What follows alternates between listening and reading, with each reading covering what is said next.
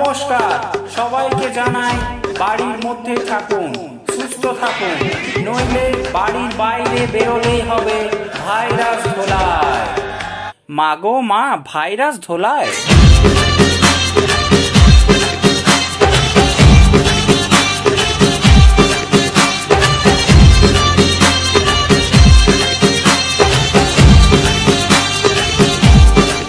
হাবু ভর পর করে আরে লাশ থাকে